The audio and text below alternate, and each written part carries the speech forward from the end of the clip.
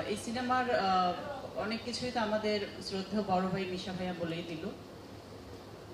আপনারা হয়তো ট্রিজার দেখবেন বা ট্রেলার দেখলে অনেক কিছুই আন্দাজ করতে পারবেন।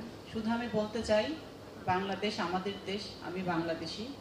বাংলাদেশ ফিল্ম ইন্ডাস্ট্রি আমাদের সবার আমি conference এর সামনে, ওই চারজন। প্রেস সবারই এটা ইন্ডাস্ট্রি আমাদের দেশীয় চলচ্চিত্র।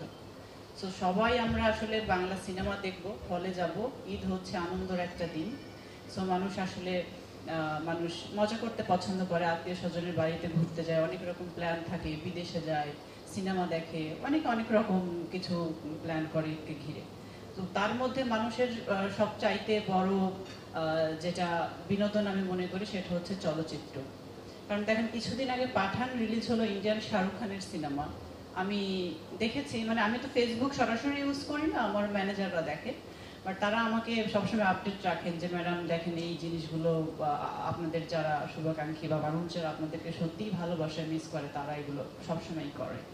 যে, শাহরুখ খানের সিনেমার সাথে অনন্ত জলিলের দিনদার যে অনন্ত জলিলকে কম্পেয়ার করেছে, যে, বাংলাদেশে, আমাদের দেশেও শাহরুখ খানের মতো হিরো আছে, বা আমরাও যাকে নিয়ে গর্ব করতে পারি যে হলিউড বলিউডের মতো সিনেমা, আমাদের দেশেরও একজন আছে। হয়তো শাহরুখ খান হচ্ছে শাহরুখ খান, সালমান খান হচ্ছে সালমান খান। তাদের সাথে তো আসলে ওইভাবে কম্পেয়ার হবে না বাট মানুষ করে। আর যারা আমাদের ভালো লাগার মানুষ ভালোবাসার মানুষ, যাদের জন্য আমাদের সিনেমা, তারা হচ্ছে আমাদের অডিয়েন্স আর তারা যখন এই কম্পেয়ারটা করে, তখন সত্যিই খুব ভালো লাগে। সো আবারও সবাইকে অনেক অনেক ধন্যবাদ। অনেক অনেক কৃতজ্ঞতা জানাচ্ছি। আপনারা এসেছেন এত রোজা রেখে, গরমের মধ্যে বাইরে এত গরম।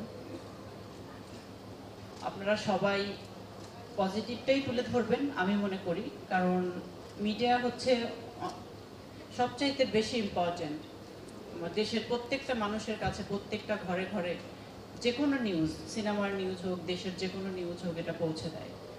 সো আমি ওইটাই বললাম, আমরা সবাই বাঙালি, আমরা সবাই বাংলাদেশি। সো আমরা, আমাদের দেশের সিনেমা ভালো পারব দেশকে ভালো পারব ভালো থাকবেন সবাই। Thank you